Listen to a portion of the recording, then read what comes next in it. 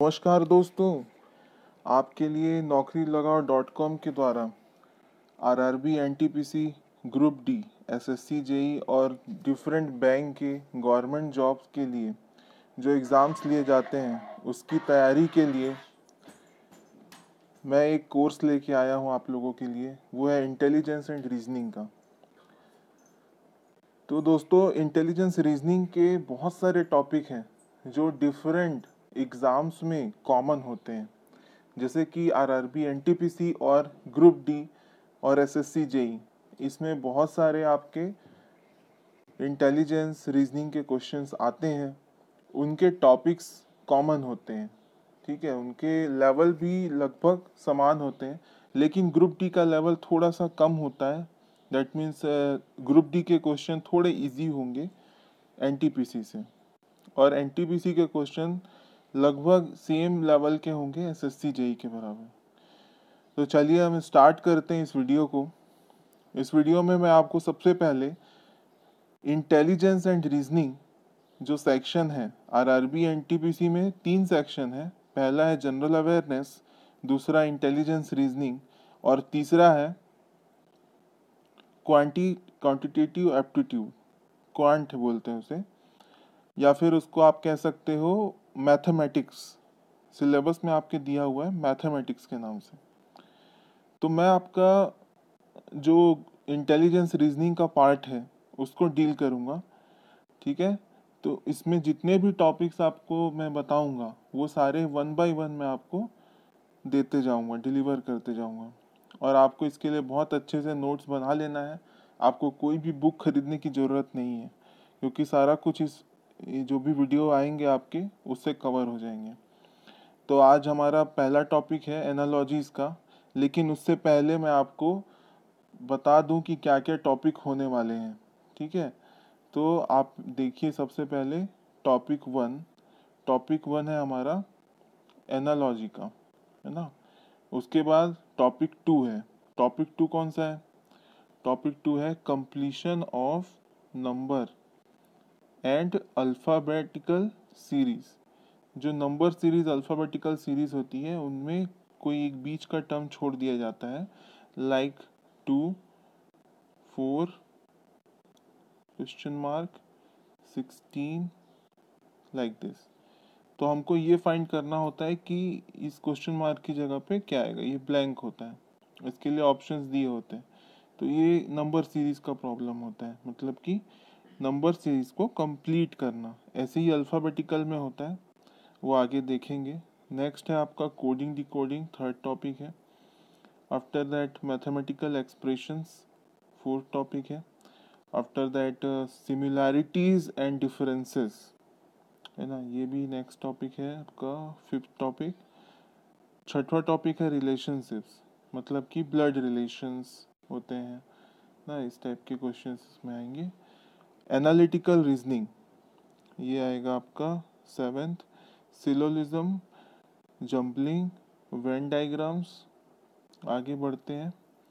इस तरह से आपके पजल डेटा सफिशिएंसी हो गया स्टेटमेंट कंक्लूजन हो गया and statement course of action decision making maps interpretation of graphs तो ये आपके total seventeen to twenty topics कुछ तीन टॉपिक मैं और बाद में कराऊँगा आपको। तो इन सभी सेवेंटीन टॉपिक्स के मैं आपको ट्रिक्स दूँगा और इसके अलग अलग कंसेप्ट को आपको मैं समझाने वाला हूँ। ठीक है दोस्तों? चलिए, चलते हैं हम लोग एनालॉजी के पार्ट पे। तो सबसे पहले मैं आपको एनालॉजी का मतलब बताना चाहूँगा। एनालॉजी में एनालॉजी का मतलब होता है समानता। हिंदी में इसे क्या कहते हैं? समानता। मतलब कि सिमिलैरिटीज़ क्या है? आपको ये जो सिंबल है, इसका मतलब पता होना चाहिए, इसका मतलब पता होना चाहिए और इसका मतलब पता होना चाहिए। इसका मतलब कि अगर यहाँ पर कोई नंबर है ए कोई अल्फ़ाबेट है ए और ये है आपका बी और यहाँ पे सी है और यहाँ पे डी। तो अगर ए और बी के बीच कोई रिलेशन है या कोई सिमिलैरिटीज़ हैं, ठीक है? ए और बी के बीच अगर कोई सिमिलैरिटीज है, ये ए और इस बी के बीच अगर कोई सिमिलैरिटीज है तो इस चिन्ह का मतलब है कि वैसी ही सिमिलैरिटी सी और डी के बीच में होगी। ठीक है? और इसको क्लियर करने के लिए हम आगे चलते हैं, पहले क्वेश्चन पे। Observe the relation observe the relation between first pair of words and identify the pair that has the same relationship from the below four options तो आपके चार ऑप्शंस कौन कौन से हैं? ये आपके चार ऑप्शंस दिए हुए हैं यहाँ पे आपको, ठीक है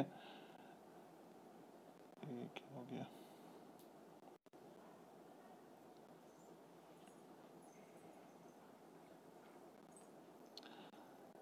तो यहाँ पे आपको चार ऑप्शंस दिए हुए हैं, लेकिन पहला जो पेयर है, जैसे मैं ए और बी की बात कर रहा था अभी तो ए और बी के हिसाब से जो पेयर दिए हुए हैं आपको, वो क्या दिए हुए हैं?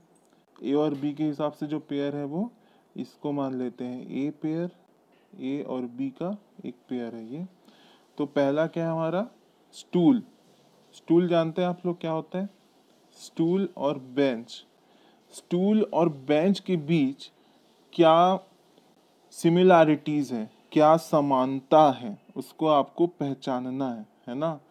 तो स्टूल क्या होता है? किसी भी एक आदमी के बैठने के लिए होता है स्टूल ठीक है? और बेंच क्या होता है? बेंच में एक से ज़्यादा लोग बैठ सकते हैं। मतलब कि स्टूल में सिर्फ़ एक ही आदमी बैठ सकता है और बेंच में एक से ज़्यादा लोग बैठ सकते हैं। तो यहाँ पे क्या समझ में आ रहा है कि स्टूल एक छोटी इकाई है और बेंच एक बड़ी इकाई है। साथ में अगर अब ऑप्शंस को देखेंगे तो इसी तरह का एक रिलेशन हमको ऑप्शंस में भी खोजना है। तो पहला ऑप्शन है कारपेंटर और चेयर तो कारपेंटर किसको बोलेंगे? जो क्या करता है? फर्नीचर का काम करता है चेयर्स बनाता है। ठीक है चेयर जिसमें बैठ, बैठा जा सकता है, बैठने के लिए यूज़ होता है है ना? तो यहाँ पे ऐसा कोई है क्या रिलेशन जो स्टूल और बेंच के बीच था? नहीं है। चेयर और टेबल इनके बीच भी कोई रिलेशन नहीं है उस तरह का। वुड और स्टील ये तो बिल्कुल भी नहीं है। तो आप ये लास्ट ऑप्शन देखिए foot rule and yard stick foot rule and yard stick foot rule मतलब फुट को मेजर करने के लिए और यार्ड स्टिक मतलब यार्ड को मेजर करने के लिए। तो जो फुट रूल होता है, वो फुट को मेजर करेगा, ठीक है? जो कि छोटी इकाई है, और यार्ड स्टिक क्या करेगा? बड़ी इकाई को मेजर करेगा। इसलिए ये जो रिलेशन है स्टूल और बेंच में क्या होता था? स्टूल में कम लोग बैठ पा रहे हैं। इस बेंच में एक से ज़्यादा लोग बैठ पा रहे हैं। वैसे ही फुट रूल क्या मेज़र कर पाएगा? फुट को मेज़र कर पाएगा यार्ड स्टिक क्या कर पाएगा, उससे बड़ी इकाई को मेज़र कर पाएगा। That is why the correct answer is option D option D is the correct answer तो इस तरीके से हमने क्या किया? पहले स्टूल और बेंच के बीच के रिलेशन को समझा, उनके बीच की सिमिलैरिटीज को समझा, उसके बाद हमने आंसर को ढूंढ लिया। सिमिलरली आप देखेंगे नेक्स्ट क्वेश्चन हमारा बर्ड विंग्स क्या दिया हुआ है? पहला वर्ड दिया हुआ है बर्ड दूसरा दिया है विंग्स इनके बीच क्या रिलेशन है? एक पक्षी का उसके पंखों के बीच क्या रिलेशन है? पक्षी अपने पंखों के द्वारा ही क्या करता है? उड़ता है। वैसे ही मछली मछली जो है, वो क्या है मछली का काम? तैरना। मछली कहाँ होती है? पानी में। और बर्ड पक्षी कहाँ होता है? हवा में उड़ता है है ना? मछली कहाँ तैरती है? पानी में। तो मछली को क्या चाहिए होगा? तैरने के लिए। मछली में क्या लगे होते हैं? फिन्स होते हैं। मछली के पास क्या होते हैं? फिन्स जिससे वो क्या करती है? तैरती है। लेकिन यहाँ पे कुछ स्टूडेंट कंफ्यूज हो सकते हैं।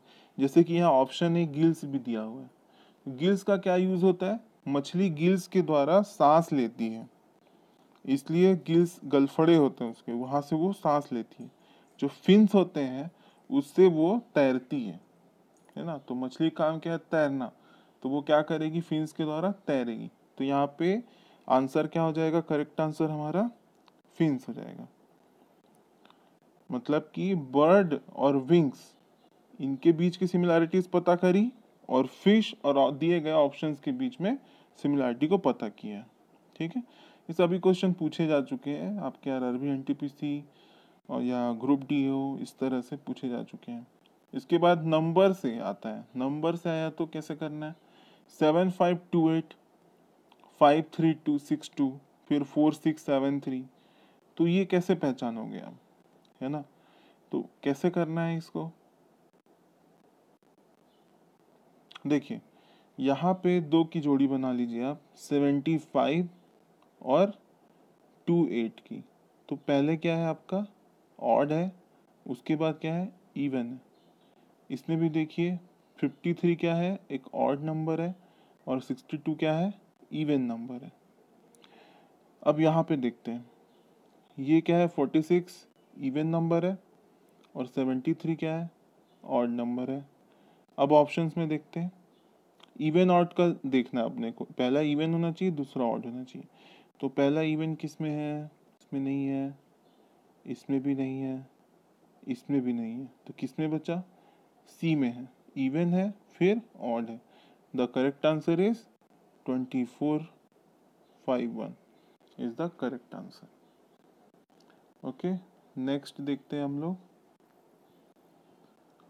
Based on the analogy given based on the analogy given, find the missing word from the given options.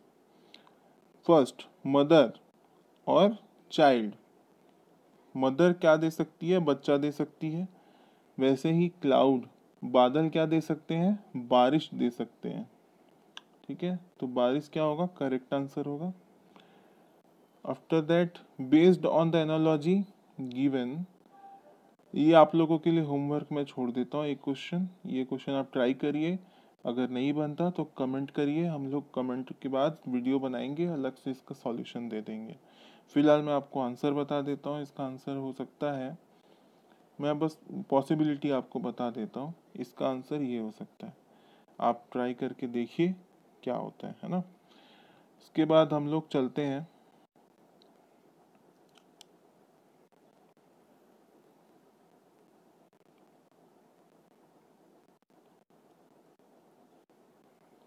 कुछ कॉमन रिलेशनशिप्स में आपको बताना चाहता हूँ। क्या कॉमन रिलेशनशिप्स होते हैं जिनसे क्वेश्चन पूछे जा सकते हैं? ये सारे जो पीडीएफ मैं आपको बता रहा हूँ, ये सारे पीडीएफ आपको अवेलेबल कर दिए जाएँगे, है ना? ये आपको सबसे पहले मैं आपको बता देता हूँ कॉमन रिलेशनशिप क्या होता है है ना? तो यहाँ पे पहला दिया हुआ है कॉमन रिलेशनशिप के अंदर कंट्री एंड कैपिटल पहला कंट्री का नाम होगा, फिर कैपिटल का नाम होगा। कैपिटल मतलब क्या होता है? राजधानी। किसी भी देश की राजधानी होती है है ना? तो देश का नाम क्या है? अफ़गानिस्तान और क्या दिया हुआ है? Capital Kabul. So Kabul is the capital of Afghanistan. ऐसा आपको इनिशियल जो रिलेशनशिप वो दिया रहेगा और सेकंड में आपसे ये सब पूछ सकता है। तो यहाँ पे मैंने इनलिस्ट किए हुए हैं। ये बहुत ही इंपॉर्टेंट है, इन सबको आपको नोट करना है। और प्रैक्टिस करना है इसका। या आपको पता होनी चाहिए कि कौन से कंट्री का कैपिटल क्या है। तो सबसे पहले अपन देखते हैं ऑस्ट्रेलिया। सो ऑस्ट्रेलिया का कैपिटल क्या है? कैनबेरा ऑस्ट्रेलिया का कैपिटल कैनबेरा ऑस्ट्रिया का वियना कनाडा ओटावा जापान का टोक्यो इटली का रोम इजिप्ट का कैरियो फ्रांस का पेरिस इस तरीके से बहुत सारे इसमें रिलेशन बन जाएँगे। तो एक और अपन नेक्स्ट देखते हैं state and capital state and capital next है, इसमें देखते हैं। पहला देते हैं महाराष्ट्र स्टेट का नाम है। और उसका कैपिटल क्या है? Mumbai. So Mumbai is the capital of Maharashtra. Maharashtra का कैपिटल क्या है? मुंबई है। ऐसे ही बहुत सारे एग्ज़ाम्पल और हो सकते हैं। कर्नाटका, बेंगलोर, आसाम, दिसपुर, बिहार, पटना, सिक्किम, गैंगटॉक, केरला त्रिवेंद्रम नागालैंड, कोहिमा, वेस्ट बंगाल, कोलकाता। तमिलनाडु, चेन्नई एंड हिमाचल प्रदेश, शिमला, गुजरात, गांधीनगर ऋषभ भुवनेश्वर। तो हमको दोस्तों देखना क्या है कि कैसे रिलेटेड है रिलेशनशिप खोजना है। तो यहाँ पे महाराष्ट्र, मुंबई के बीच रिलेशनशिप हम देख पा रहे हैं। क्या है रिलेशनशिप कि महाराष्ट्र स्टेट है and capital is Mumbai. So अगर आपको उड़ीसा दिया हुआ है क्वेश्चन में और ऑप्शंस में दिया हुआ है, बैंगलोर, भुवनेश्वर, गांधीनगर एंड शिमला तो आंसर क्या होगा? उड़ीसा का जो कैपिटल है, राजधानी है, क्या है? भुवनेश्वर है। तो वो हो जाएगा। नेक्स्ट होता है क्वेश्चन आपका कंट्री एंड करेंसी पे। कि जो कंट्री है, उसकी करेंसी क्या है? तो सबसे पहले आप देखिए कि इंडिया दिया हुआ है इंडिया तो उसकी करेंसी क्या दी हुई है? रुपी तो हमको क्या समझ में आया कि इंडिया और उसकी करेंसी के बारे में दिया है। मतलब किसी कंट्री और उसकी करेंसी के बारे में बता दिया ठीक है? तो अगर आपको फिर उसके बाद नेक्स्ट दिया हुआ है साथ में, मैं ड्रॉ करके बताता हूँ आपको। इस तरीके से चार पॉइंट उसके बाद दिया आपको इराक इराक और आपको फाइंड करना है इसका करेंसी क्या है। तो आपको पहले समझना होगा कि इंडिया और रुपी के बीच क्या रिलेशन है। तो इंडिया क्या है? कंट्री है।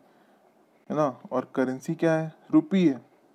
तो इराक क्या है? एक कंट्री है, ये आपको पता होना चाहिए। उसकी उसकी करेंसी क्या है? दिनार इराक की करेंसी क्या है? दिनार है।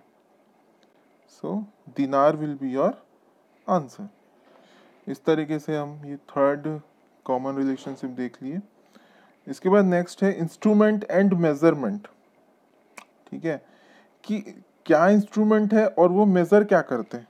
ये टेक्निकल वाले आसानी समझ सकते हैं इसको, कि इंस्ट्रूमेंट जैसे बैरोमीटर होता है बैरोमीटर क्या मेज़र करता है? प्रेशर को मेज़र करता है, दाब को मेज़र करता है barometer barometer is an instrument use to measure pressure तो इसके और भी क्या एग्ज़ाम्पल हो सकते हैं? थर्मोमीटर थर्मोमीटर क्या मेज़र करेगा भाई? टेम्परेचर मेज़र करेगा. हाइग्रोमीटर क्या करेगा? ह्यूमिडिटी एमीटर क्या करता है? करंट को मेजर करता है वोल्ट मीटर वोल्टेज को करेगा वाट मीटर पावर को करेगा, है ना? ओडोमीटर स्पीड को कर रहा है।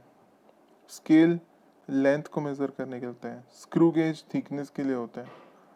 इस तरीके से कर सकते हैं। उसके बाद होता है क्वांटिटी और यूनिट्स जैसे कि हमारी क्वांटिटी क्या है? लेंथ लेंथ हमारी क्या है? क्वांटिटी है मान लो। तो उसका यूनिट क्या होगा? मीटर होगा। वैसे ही अगर टाइम हमारी क्वांटिटी है तो यूनिट क्या हो गया? सेकंड रेजिस्टेंस या पावर हमारी क्वांटिटी है तो वाट क्या हो गया? उसकी यूनिट हो गई। फोर्स अगर क्वांटिटी है तो यूनिट क्या हो गई? न्यूटन हो गई। है ना? प्रेशर अगर क्वांटिटी है तो पास्कल क्या हो गई? यूनिट हो गई। इस तरीके से कॉमन रिलेशनशिप्स बन सकती हैं। नेक्स्ट है इंडिविजुअल एंड ग्रुप जैसे सेलर्स सेलर्स और क्रू तो एक सेलर सेलर हो गया जिसको सेलर्स है जैसे अपने आ, समुद्र पे जो जाते हैं सेलर्स है ना? तैराक ठीक है?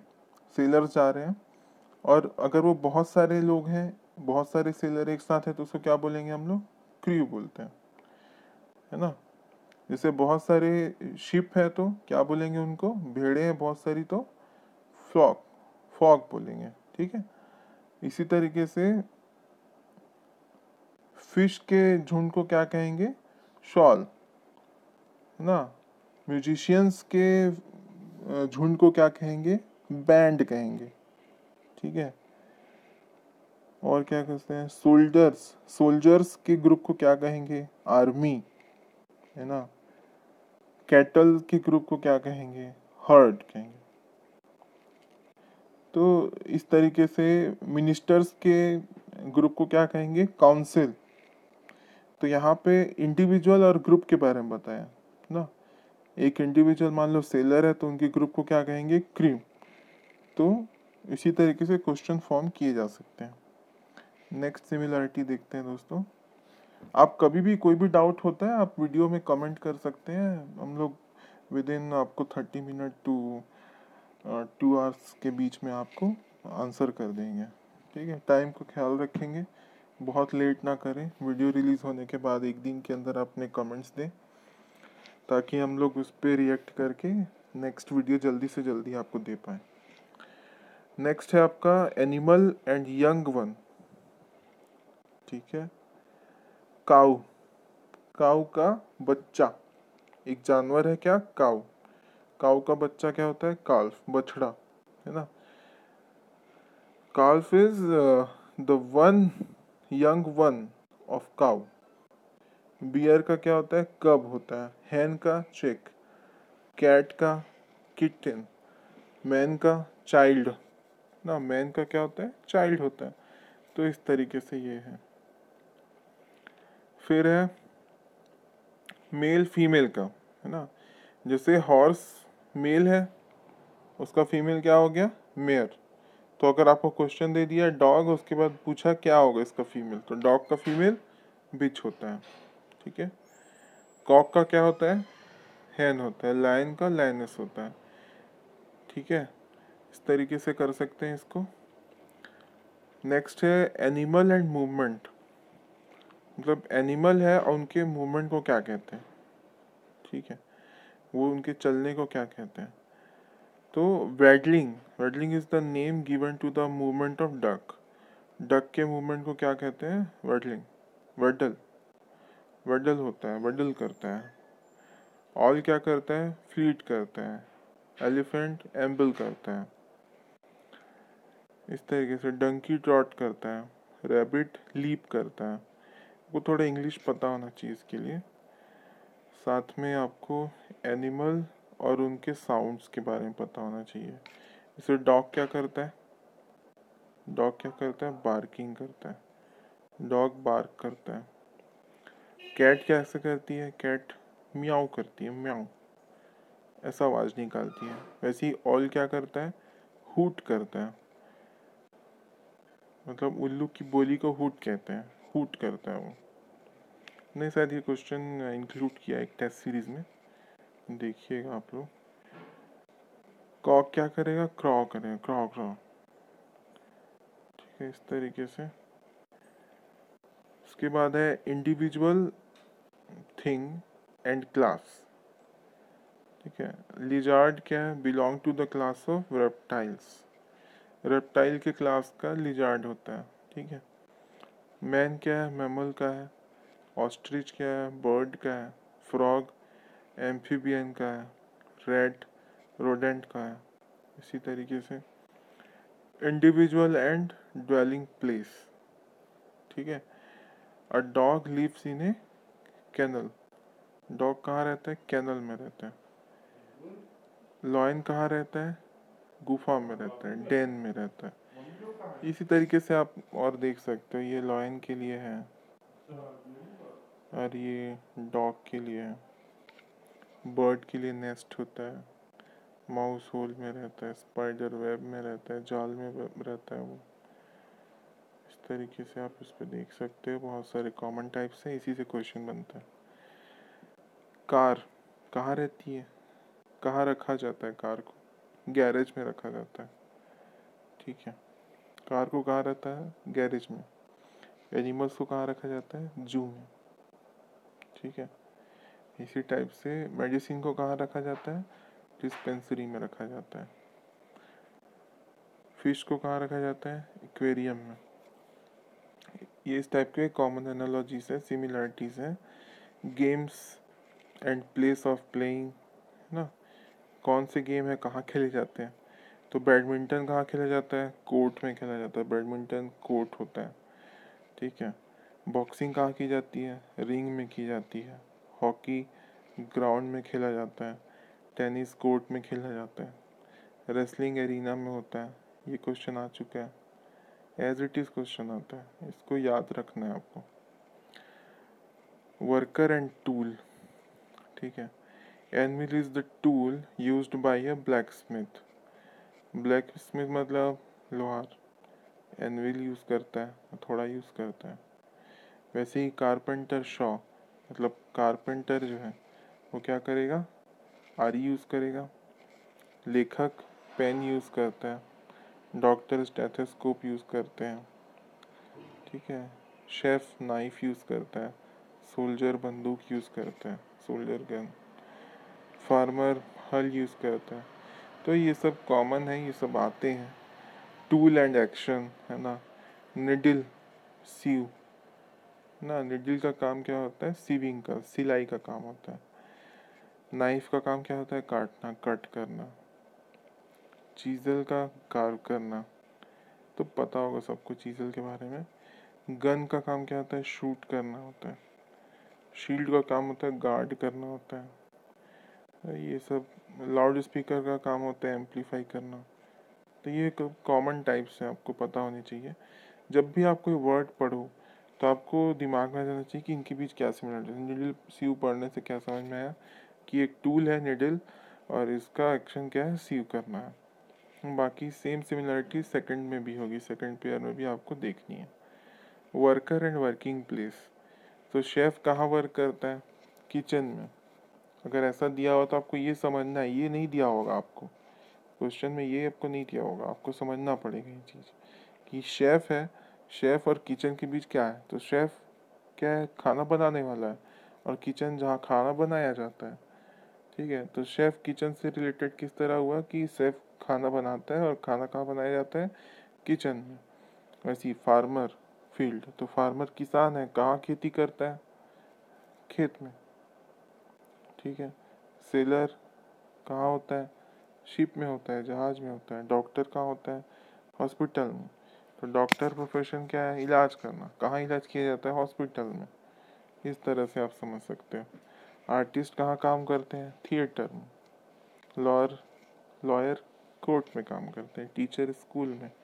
इंजीनियर साइट पे, जहाँ वर्क होता है। सर्वेंट हाउस में। वेटर रेस्टोरेंट में। गैमलर कैसीनो में। ये क्वेश्चन भी आ चुका है। गैमलर कैसीनो सो सारे जो क्वेश्चन आए दोस्तों ये इस पीडीएफ में आपको पूरे कवर हो जाएँगे, ठीक है? और इसी से ही आएँगे क्वेश्चन आगे भी जो क्वेश्चन आने वाले हैं आपके अपकमिंग एग्ज़ाम में, वो ऐसा मत सोचिए कि यहाँ से हट के हों। वो सब यहीं से लिए जाएँगे। सो बी प्रिपेयर्ड इसको पूरा प्रिपेयर करिए, पूरा याद करिए, क्योंकि एटलीस्ट दो क्वेश्चन आते ही हैं हर एग्ज़ाम में। एक से दो क्वेश्चन आएँगे ही, और आपका गलत नहीं होगा। आपको पूरा पूरा मार्क्स मिलेगा दो नंबर बहुत बड़ी बात होती है दो नंबर मिलना, क्योंकि दो नंबर से ही जॉब डिसाइड हो जाता है। ठीक है, आसान पार्ट नहीं होता ये थोड़ा सा इसमें स्टडी चाहिए, बस एक बार कर लो, फिर सब हो जाएगा।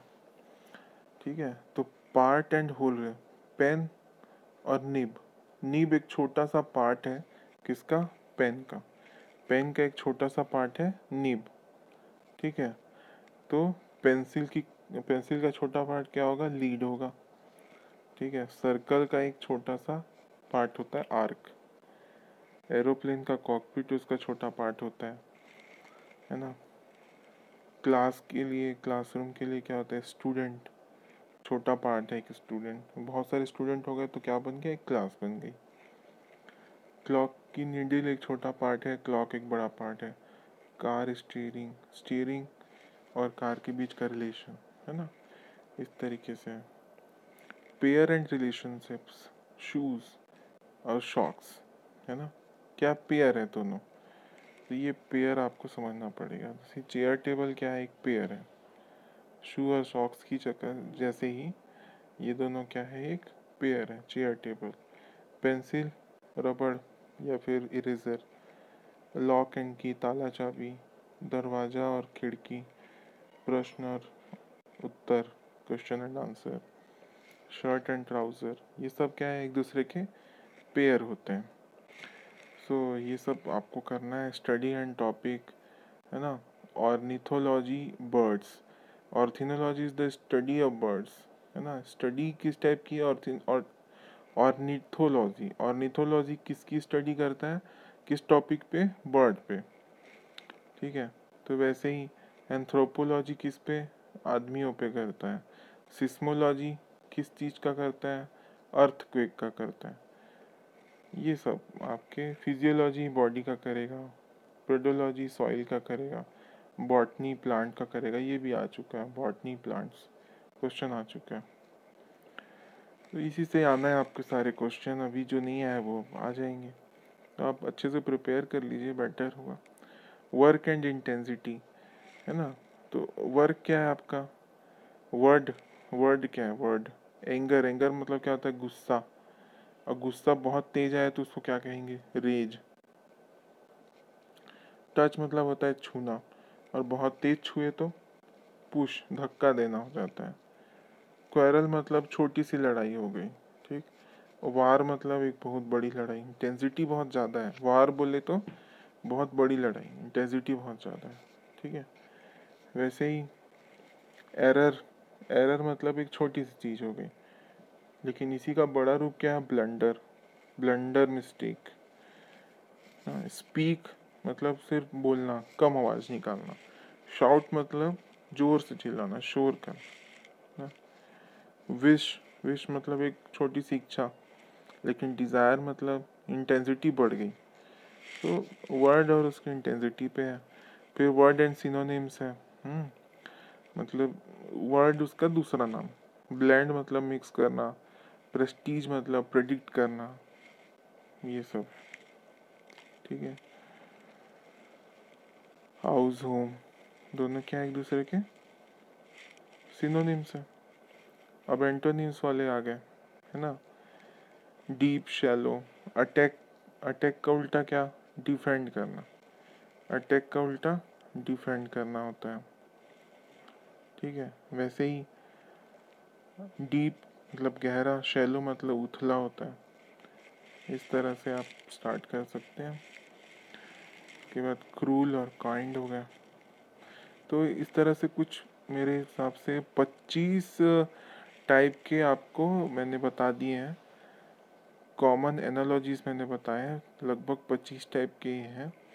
तो ये पच्चीसों टाइप को आपको बहुत अच्छे से प्रिपेयर कर लेना है, लिख लेना है और इसमें जितने भी चीज़ें दी हुई है, सब बहुत बहुत ज़्यादा इंपॉर्टेंट है। ठीक है?